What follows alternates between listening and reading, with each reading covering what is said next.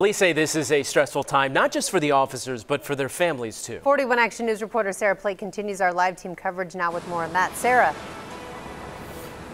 Yeah, we talked to the, uh, the president of the Fraternal Order of Police who says that the officers are doing okay and their families have taken the news fairly well. Now, we are not identifying the officers at this time, even though we found out information that tells us who they are, but we do know that two of the three are fathers. They do have children, so that brings it all home for us. KCPD had peer support crisis personnel on the scene yesterday and are providing psychologists to the officers to deal with their emotions. Lemon said that Lemon is the president of the FOP. He said that the case KCPD is getting too good with how they respond to crises like this because of how often it happens. He said it shows that despite being highly skilled officers, they have to constantly prepare for the worst.